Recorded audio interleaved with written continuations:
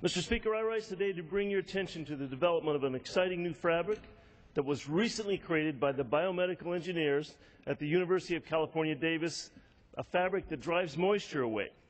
Two graduate students, Alex Singh and Jay Jang at the Micro Nano Innovations Laboratory, led by Professor Tingrui Pan, with the financial support of the National Science Foundation, developed a textile that stays dry by forming moisture into droplets that drain away by attaching a network of water-attracting threads to water-repellent fabric.